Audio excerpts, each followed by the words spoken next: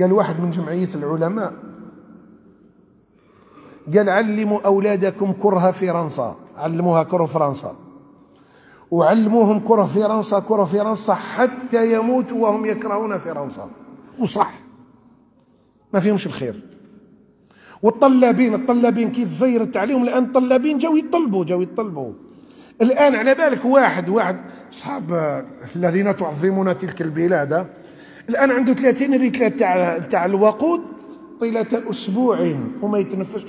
اسكت الجماعة يعودوا ما يعطيوكش الغاز ولا ما يعطيوكش الضوء. اسكت وهذا الخزي ربي ضربوا على هؤلاء الخزي. ربي ربي ودار لنا الدرس شوفهم. الذين كنا بالأمس نسبح بحمدهم. فرنسا.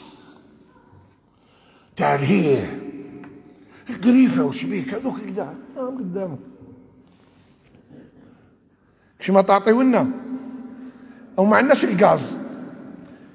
كاش كهرباء التوريفه راهي طفات أو خلصنا المازوت ما عندناش ليسونس.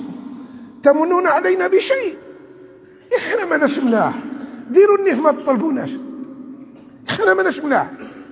واحد المجرم سمعته أنا يقول يقول لهم هذو الجزائريين يحصل لهم الشرف حنا استعمرناهم. قالوا بعد استعمارنا لهم حنا رديناهم عباد لقيناهم لقيناهم ماهمش عباد. باستعمارنا لهم ولقيناهم عباد. إيه. قبل ما تجوا أنتم إحنا ما كانش عندنا الأمية. قولوا يقولوا التاريخ.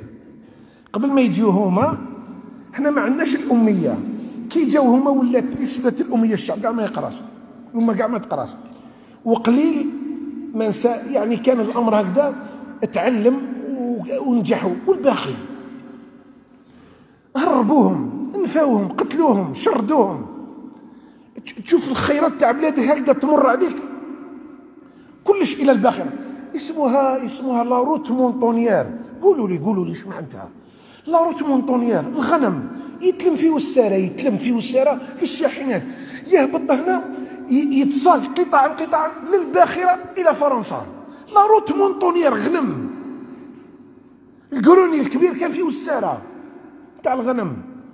القمح القمح القمح نتاع هنا والشعير تاع هنا الحلف الأطلسي.